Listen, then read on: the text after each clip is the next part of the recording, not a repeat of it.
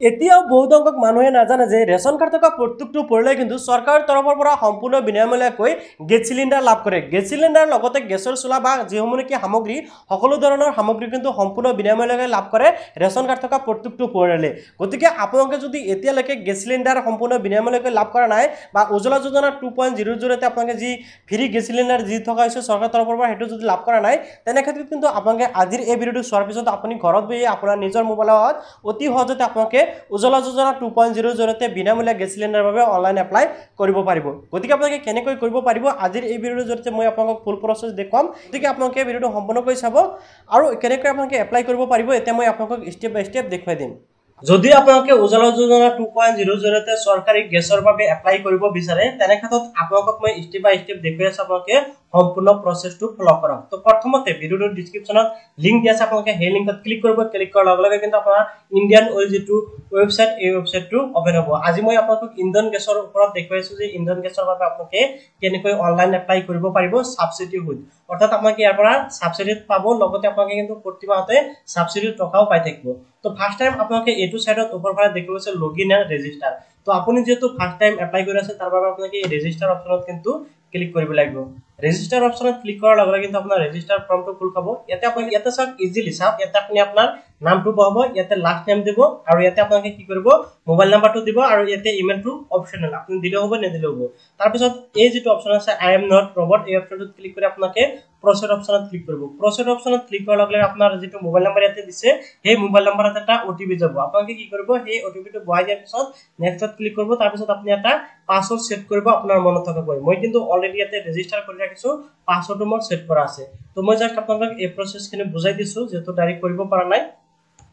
তাৰপিছত এতিয়া জাষ্ট আপোনালোকে কি কৰিব আপোনাৰ আই ডি পাছৱৰ্ডটো ক্ৰিয়েট হোৱাৰ পিছত এই যিটো লগ ইন অপশ্যন আছে লগ ইন অপশ্যনত ক্লিক কৰি দিয়ক। লগ ইন অপশ্যনত ক্লিক কৰাৰ পিছত আপোনালোকৰ সন্মুখত কিন্তু লগ ইন পেজটো আহি যাব।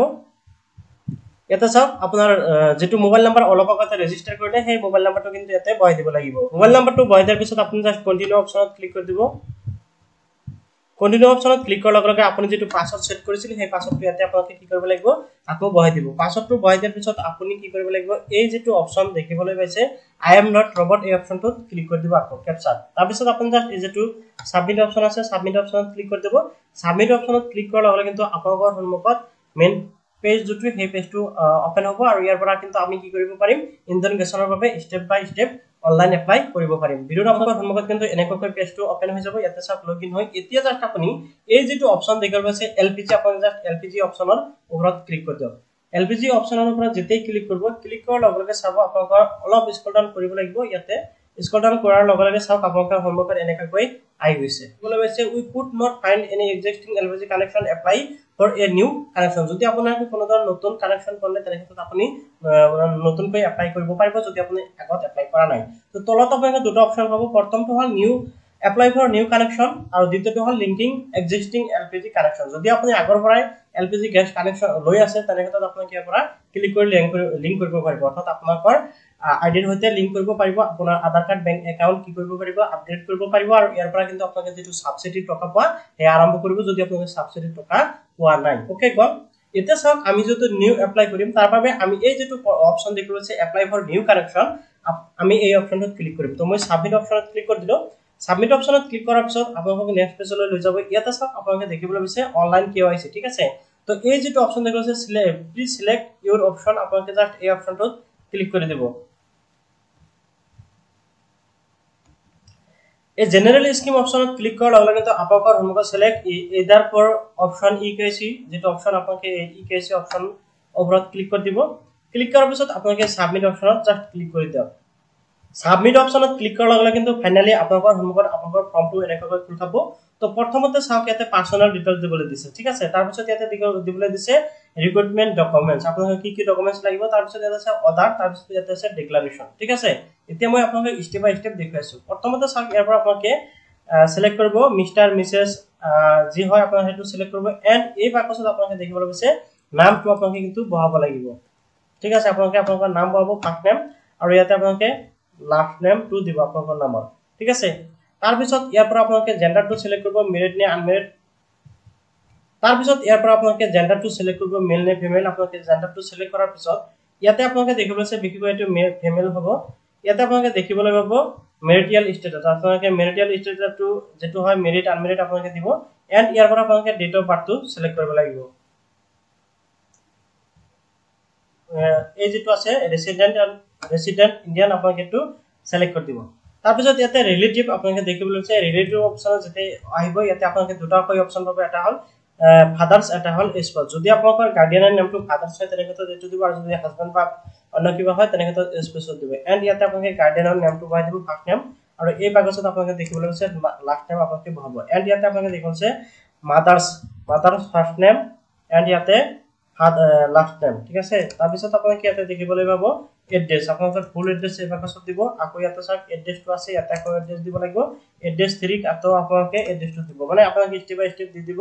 তাৰপিছত ইয়াতে আপোনালোকে দেখিবলৈ পাইছে লেণ্ডমাৰ্ক আপোনালোকৰ লেণ্ডমাৰ্ক যিটো হয় আপোনালোকে এইটো দিব। অৰ্থাৎ আপোনালোকৰ ওচৰৰ পাছৰ যিটো ডাঙৰ প্ৰতিষ্ঠান আছে সেই প্ৰতিষ্ঠানটোৰ নাম দিব অন্যথা আপোনালোকে ৰাস্তাৰ নাম দিব। এণ্ড ইয়াতে আপোনালোকে দেখিবলৈ পাইছে ভিলেজৰ নামটো আপোনালোকক দিবলৈ দিছে ভিলেজ বা চিটি তাৰপিছত ইয়াতে দেখিবলৈ পাইছে পিনকোড আপোনালোকে পিনকোডটো যাই ভৰাই দিব পিনকোডটো চিলেক্ট কৰাৰ লগে লগে কিন্তু ইয়াতে আপোনাৰ ষ্টেট আৰু ডিষ্ট্ৰিক্টটো কিন্তু অলৰেডি চিলেক্ট হৈ যাব। তাৰপিছত ইয়াতে চাওক আপোনালোকে দেখিবলৈ পাইছে এড্ৰেছ টাইপ আপোনালোকে ইয়াতে ৰুৰেল নে আৰবান আপোনালোকে য'ত বসবাস কৰে এইটো চিলেক্ট কৰিব এণ্ড ইয়াতে আপোনালোকে দেখিবলৈ পাইছে সাব ডিষ্ট্ৰিক্ট আপোনালোকে সাব ডিষ্ট্ৰিক্ট অপশ্যনত ক্লিক কৰাৰ লগে লগে আপোনালোকৰ সাব ডিষ্ট্ৰিক্টসমূহ ইয়াতে আপোনালোকৰ সন্মুখত শ্ব' কৰিব।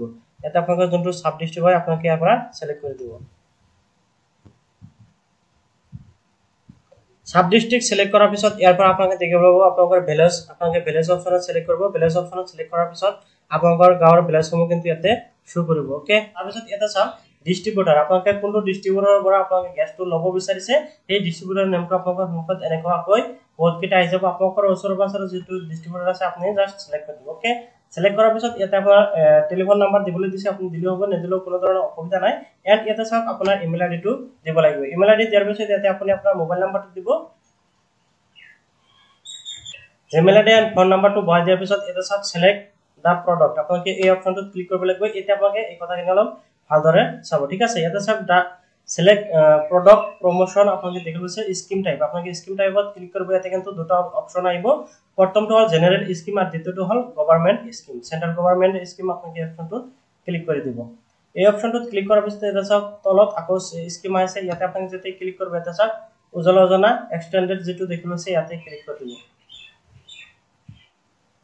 ক্লিক কৰাৰ পিছত ইয়াতে আকৌ চাব স্কিম দেখিব পাব। এই যিটো অপশ্যন দেখিবলৈ পাইছে Ujjwala Yojana two point zero' আপোনালোকে এইটোত ক্লিক কৰি দিব এণ্ড আপোনালোকে কি কৰিব লাগিব এই যিটো দেখিব পাইছে চৈধ্য কেজিৰ গেছ আপোনালোকে এইটো চিলেক্ট কৰিব এণ্ড আপুনি তাত ছাবমিট ক্লিক কৰি দিব। এইটো হ'ল মেইন ফাণ্ডা ইয়াৰ পৰা আপোনালোকে গেছটো লাভ কৰিব। তাৰপিছত এতিয়া যাক আপুনি এই যিটো ছেভ এণ্ড কণ্টিনিউ অপশ্যন আছে এই অপশ্যনটোত ক্লিক কৰিব লাগিব। ছেভ এণ্ড কণ্টিনিউ অপশ্যনত ক্লিক কৰাৰ লগে লগে কিন্তু ৰেকৰ্ড ডকুমেণ্টত আহি যাব আপোনাৰ দ্বিতীয় অপশ্যনটোত আহি যাব আপোনালোকে দেখিবলৈ পাইছে। এতিয়া চাওক এতিয়া চাওক আপোনালোকে ডকুমেণ্টছসমূহ কেনেকৈ দিব। প্ৰথমতে এটা চাওক select on proof of identity proof of identity বুলি কোৱা হৈছে। ইয়াতে আপোনালোকে চিলেক্ট কৰিব driving licence issue of central bank বা ইছ্যু বাই চেণ্ট্ৰেল গভৰ্ণমেণ্ট বা ষ্টেট গভৰ্ণমেণ্টৰ যিকোনো documents voter I D ration card PAN card nationality food certificate এনেকুৱাকৈ কিন্তু বহুতকেইটা আছে।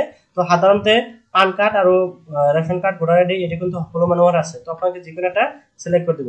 চিলেক্ট কৰাৰ পিছত ইয়াতে আপোনাৰ ডকুমেণ্টটোৰ নাম্বাৰটো দিব লাগিব। ধৰক আপোনাৰ পেন কাৰ্ডৰ নাম্বাৰটো আপোনালোকে ইয়াতে দিব লাগিব। পেন কাৰ্ডৰ নাম্বাৰটো বহাই দিয়াৰ পিছত ইয়াতে আপোনালোকে দেখিবলৈ পাই ইয়াতে চাওক select on proof address proof আপোনালোকে যিকোনো এটা এড্ৰেছ প্ৰুফ দিব লাগিব ইয়াতে কিন্তু বহুত আছে আপোনালোকে দেখিবলৈ পাইছে। ইয়াৰ পৰা আপোনালোকে যিকোনো এটা এড্ৰেছ প্ৰুফ ইয়াতে দি দিব ঠিক আছে? আধাৰ কাৰ্ড আধাৰ কাৰ্ড কিন্তু সকলো মানুহৰ আছে আপোনালোকে যিকোনো দুটাৰ এটা দি দিলেই হ'ব। ইয়াতে চাওক আপোনালোকে চাওক ইয়াতে মই যিটো নেকি পেন কাৰ্ড পেন কাৰ্ডৰ নাম্বাৰ বহাই দিছোঁ ইয়াতে আপোনালোকে কি কৰিব আপোনালোকৰ আধাৰ কাৰ্ডৰ নাম্বাৰটো আপোনালোকে বহাই দিব। এটাচমেণ্ট ইয়াতে ক্লিক কৰি আপোনালোকে যিটো ডকুমেণ্টছ ইয়াতে চিলেক্ট কৰিব সেই ডকুমেণ্টছটো ইয়াতে আপলোড কৰিব লাগিব আৰু ইয়াতে যিটো চিলেক্ট কৰিব সেই ডকুমেণ্টছটো ইয়াতে আপলোড কৰিব লাগিব। মই ইয়াতে আধাৰ কাৰ্ড কৰিছোঁ আধাৰ কাৰ্ড আপলোড কৰিম আৰু এইফালে মই কি কৰিছোঁ পেন কাৰ্ড পেন কাৰ্ডটো আপলোড কৰি দিম। আপলোড কৰাৰ বাবে জাষ্ট এই যিটো এড এটাচমেণ্ট অপশ্যন আছে ইয়াতে ক্লিক কৰি দিব। এড এৰেঞ্জমেণ্ট অপশ্যনত ক্লিক কৰাৰ লগে লগে আপোনালোকৰ সন্মুখত চিলেক্ট ফাইল এই অপশ্যন আহি যাব। ইয়াতে চাওক চুজ ফাইল আহিছে। তো ইয়াতে কিন্তু এটা কথা আপোনালোকে মন কৰিব আপুনি যিটো ফাইল আপলোড কৰিব সেই ফাইলটো কিন্তু মেক্সিমাম চাইজ হ'ব পাৰিব পাঁচশ বাৰ কেবি আৰু P N G J P G বা পি ডি এফ যিকোনো ফৰ্মেটত আপোনালোকে আপলোড কৰিব লাগিব। আপলোড কৰাৰ বাবে চুজ ফাইল অপশ্যনত ক্লিক কৰি দিব। চুজ ফাইলত ক্লিক কৰি ডকুমেণ্টছ আপলোড কৰাৰ পিছত এনেকৈ আপোনালোকৰ সন্মুখত ডকুমেণ্টছ যেতিয়ালৈকে শ্ব' নকৰিব তেতিয়ালৈকে ৱেইট কৰিব। ডকুমেণ্টছ শ্ব' কৰাৰ পিছত আপুনি ছাবমিট ছেভ অপশ্যনত ক্লিক কৰি দিব অ'কে ছেভ অপশ্যনত ক্লিক কৰাৰ লগে লগে কিন্তু এনেকুৱাকৈ আপোনাৰ ডকুমেণ্টছটো আহি যাব আৰু অলৰেডি কিন্তু এইটো চাইডত মই আধাৰ কাৰ্ড কি কৰিছোঁ আপলোড কৰি ৰাখিছোঁ। ডকুমেণ্টছ আপলোড কৰাৰ পিছত কিন্তু আপুনি কি কৰিব লাগিব এই যিটো ছেভ এণ্ড কণ্টিনিউ অপশ্যন দেখুওৱা হৈছে আকৌ কিন্তু আপোনালোকে এই অপশ্যনটোত ক্লিক কৰি দিব। এই অপশ্যনটোত ক্লিক কৰাৰ লগে লগে আপোনালোকৰ সন্মুখত এনেকুৱাকৈ অৰ্ডাৰ ডিটেইলছ খুজিব। এতিয়া অৰ্ডাৰ ডিটেইলছত আপোনালোকে কি দিব লাগিব এটা চাওক। প্ৰিপেড নেচাৰেল গেছ আপোনালোকৰ ঘৰত আছে নেকি? যদি আছে আপোনালোকে ইউজ কৰিব নহয় আপোনালোকে ন কৰিব। ঠিক আছে? কেছ ট্ৰেন্সফাৰ ছেকশ্যন আপোনালোকে এইটোতো ন কৰিব। যদি আপোনালোকে ইউজ কৰে তেনে ক্ষেত্ৰত কিন্তু আপোনালোকে যিটো নেকি আপোনাৰ এল পি জি ছাবচিডি বা সেইটো কিন্তু লাভ নকৰিব। ঠিক আছে? তো আপোনালোকে এইটো ন কৰি দিব। ন কৰাৰ পিছত আপোনালোকে এইটো আপোনালোকে ন কৰি দিব মোৰ এছ হৈ গৈছে। ন কৰাৰ পিছত আপোনালোকে স্কল ডাউন হৈ আহিব। স্কল ডাউন হৈ আহি কিন্তু ইয়াতে আপুনি আপোনাৰ আধাৰ কাৰ্ডৰ নাম্বাৰটো দিব লাগিব ঠিক আছে? আৰু ইয়াতে আপুনি আপোনাৰ আধাৰ কাৰ্ডটো আপলোড কৰিব লাগিব কিয়নো বা আপোনালোকে যদি বিচাৰে যে আপোনাৰ ছাবচিডি টকাটো আপোনাৰ বেংকত যাব বিচাৰে ল'ব বিচাৰে তেনে ক্ষেত্ৰত আপোনালোকে ইয়াতে ক্লিক কৰিব এণ্ড ইয়াতে কিন্তু আপোনালোকৰ বেংকৰ ডিটেইলছসমূহ দিব। তো ইয়াতে আধাৰ নাম্বাৰ আৰু আপোনালোকে কি কৰিব পাৰে আধাৰ এটাচ কৰিব পাৰে। বা তলত চাওক আপোনালোকে যদি বেংক ডিটেইলছ দিব বিচাৰে তেনে ক্ষেত্ৰত আপোনালোকে বেংকত ক্লিক কৰি আপোনালোকৰ বেংকৰ I B I C code বেংকৰ একাউণ্ট নাম্বাৰ বেংকৰ নাম্বাৰ আৰু বেংকৰ নাম্বাৰ কনফাৰ্ম কৰিব এণ্ড ইয়াত আপোনালোকে বেংকৰ পাছবুক প্ৰথম পেজটো আপলোড কৰি দিব অ'কে আপলোড কৰাৰ পিছত আপোনালোকে স্কল ডাউন হৈ আহিব। স্কল ডাউন হৈ আহি আপোনালোকে দেখিবলৈ পাব ৰেচন কাৰ্ড যদি আপোনালোকে ৰেচন কাৰ্ড ডিটেইলছ ইয়াতে দিব বিচাৰে দিব পাৰিব। নিদিলেও কোনো ধৰণৰ অসুবিধা নাই। যদি ৰেচন কাৰ্ডৰ ডিটেইলছ দিব বিচাৰে তেনে ক্ষেত্ৰত প্ৰথমতে ষ্টেট কৰিব তাৰপিছত ৰেচন কাৰ্ডৰ নাম্বাৰটো আপোনালোকে বাই দি আপোনালোকৰ ৰেচন কাৰ্ডৰ সদস্যৰ নামসমূহ দিব পাৰে। এণ্ড ইয়াতে যদি আপোনালোকৰ পেন কাৰ্ড আছে পেন কাৰ্ডৰ নাম্বাৰটো দিব আৰু যদি নাই নিদিলেও হ'ব ঠিক আছে? ইয়াতে জাষ্ট আপোনালোকে টিপ লগাব এণ্ড আপোনালোকে এই যিটো অপশ্যন দেখিবলৈ পাইছে আপলোড স্কেন কপি ফটোগ্ৰাফী আপুনি যাৰ বাবে এপ্লাই কৰিছে সেইজন ব্যক্তি কিন্তু ইয়াতে ফটো এক কপি আপলোড কৰিব লাগিব। ফটোটো আপলোড কৰাৰ পিছত আপুনি জাষ্ট এই যিটো ছেভ এণ্ড কণ্টিনিউ অপশ্যন দেখিবলৈ পাইছে ছেভ এণ্ড কণ্টিনিউ অপশ্যনত ক্লিক কৰি দিব। ছেভ এণ্ড কণ্টিনিউ অপশ্যনত কিন্তু আপোনালোকৰ ফাইনেল ডিক্লাৰেশ্যন পেজটো আহিব এতিয়া চাওক আপোনালোকে দেখিবলৈ পাইছে ডিক্লাৰেশ্যন আপোনালোকে নিশ্চয় দেখিবলৈ পাইছে এতিয়া আপোনালোকে জাষ্ট কি কৰিব লাগিব স্ক্ৰল ডাউন কৰি আহিব ডিক্লাৰেশ্যন কৰাৰ বাবে স্ক্ৰল ডাউন কৰি আহি আপোনালোকে চাওক ইয়াতে দেখিবলৈ পাইছে আই একচেপ্ট টু ডিক্লাৰেশ্যন ইয়াৰ লগতে যদি আপোনালোকে চাব বিচাৰে যে আপোনালোকৰ কোনো ধৰণৰ ভুল বান্ধি হৈ আছে নেকি তেনে ক্ষেত্ৰত এই যিটো প্ৰিভিউৱাছ আছে আপোনালোকে প্ৰিভিউৱাছ ক্লিক কৰি কিন্তু আপোনালোকে চেক কৰিব পাৰিব। যদি আপোনালোকৰ কোনো ধৰণৰ ভুল বান্ধি আছে আপুনি শুধৰণি কৰি ল'ব পাৰিব। আৰু যদি আপোনাৰ সকলো ঠিক আছে জাষ্ট আপুনি ইয়াতে একচেপ্ট অপশ্যনত ক্লিক কৰিব এণ্ড ইয়াতে আপুনি ছাবমিট অপশ্যনত ক্লিক কৰিব। ছাবমিট অপশ্যনত ক্লিক কৰাৰ লগে লগে কিন্তু আপোনাৰ ছাবমিটটো কমপ্লিট হৈ যাব। লগতে কিন্তু আপোনাৰ ৰেজিষ্টাৰ যিটো মোবাইল নাম্বাৰ আপুনি দিছে আপোনাৰ মোবাইল নাম্বাৰতে কিন্তু এটা কি আহিব? মেছেজ আহি যাব। লগতে আপোনাৰ ইমেইলতে কিন্তু মেছেজ যাব যিটো আপোনালোকে ইমেইল দিছে সেই ইমেইলতে কিন্তু কনফাৰ্মেশ্যন মেছেজ এটা গুচি যাব। মই ইয়াতে ছাবমিট কৰা নাই এইটো কাৰণতে অলৰেডি এজন মানুহৰ নামত কিন্তু গেছ লোৱা আছে যাৰ বাবে মই ইয়াতে অযথা এপ্লাই কৰা নাই। তো আশা কৰোঁ আপুনি নিশ্চয় বুজি পাইছে। আশা কৰিছোঁ আপুনি নিশ্চয় বুজি পালে। ইয়াৰ পিছতো যদি আপোনালোকৰ কোনো ধৰণৰ প্ৰব্লেম হৈছে বা বুজি পোৱাত অসুবিধা হৈছে এপ্লাই কৰাৰ সময়ত কোনো ধৰণৰ অসুবিধা হৈছে নিশ্চয় কমেণ্টত জনাব। আৰু এটা কথা এই যিটো ভিডিঅ' মই আপোনালোকক দেখিবলৈ এই ভিডিঅ'টো যোৱা কিছুদিন আগতে আপলোড কৰিছিলোঁ ইউটিউবত। কিন্তু ইউটিউবৰ পৰা এটা ডকুমেণ্টছ দেখা গৈ আছিল পান কাৰ্ড এটা দেখা গৈ আছিল যাৰ বাবে সেইটো মোক ডিলিট কৰি দিছোঁ ইউটিউবৰ পৰা ডকুমেণ্টছ দেখা যোৱাৰ বাবে। তো আকৌ মই নতুনকৈ ভিডিঅ'টো ৰি আপলোড কৰিছোঁ গতিকে আশা কৰোঁ আপুনি নিশ্চয় ভিডিঅ'টো ভাল পালে। যদি ভাল পাইছে নিশ্চয় লাইক আৰু কৰি চেনেলটো ছাবস্ক্ৰাইব কৰিবলৈ পাৰা নাযাব এনেকুৱা গুৰুত্বপূৰ্ণ আৰু হেল্পফুল ভিডিঅ'সমূহ পাবলৈ।